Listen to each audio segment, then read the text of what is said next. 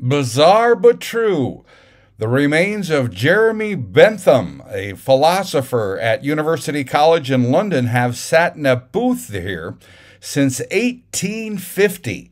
His body was fully dissected after he died, and his skeletal remains were propped up and dressed up, along with a uh, wax mold of his face in a chair where he's been sitting since 1850. Uh, that's not all. Also, his mummified head used to sit by his feet, but it kept getting stolen, so it now sits in a secure place. Bizarre but true philosopher Jeremy Bentham in London. I'm Neil Carlson reporting for iNewZ.TV.